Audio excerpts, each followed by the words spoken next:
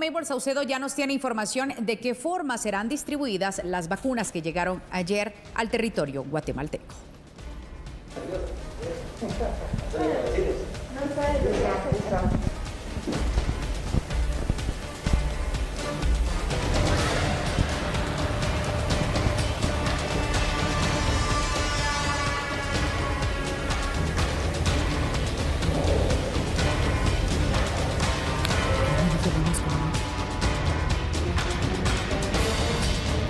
Tiene usted las imágenes y establecemos la comunicación con la periodista Maybol Saucedo que nos tiene ya el informe de cómo será la distribución de estas vacunas Pfizer que han llegado desde ayer al territorio guatemalteco. Maybol, adelante.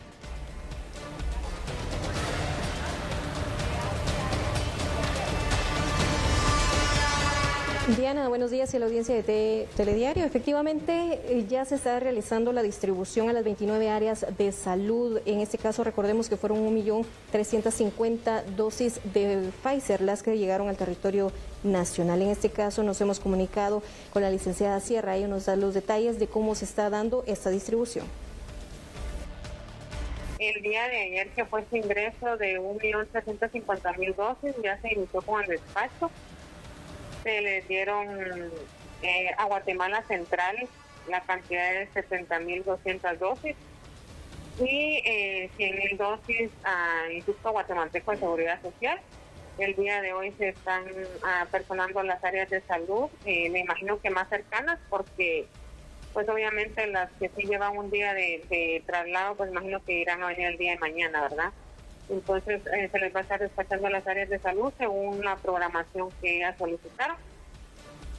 Ya nos enviaron previamente su solicitud las áreas de salud, algunas todavía faltan, pero me imagino que en el transcurso del día pues la van a estar enviando y asimismo presentándose a, traer sus vacunas Pfizer específicamente, como también AstraZeneca, que es otro ingreso reciente. ¿Cuántas áreas de salud tendrán Pfizer, licenciada? Asignada, perdón, todas en general las que van a poder tener este, este biológico? Se asigna en, su totalidad a las 29 áreas de salud para que toda Guatemala tenga acceso a estas vacunas. En el caso es importante destacar que a la fecha han ah, llegado al territorio nacional 13.940.370 dosis de vacunas, tanto Pfizer, Moderna, AstraZeneca como Sputnik V. Y entonces se tiene previsto que entre hoy y mañana ya los centros de vacunación estén abastecidos con la vacuna Pfizer. Es parte de la información que tenemos en Cámara Héctor García. Volvemos con ustedes.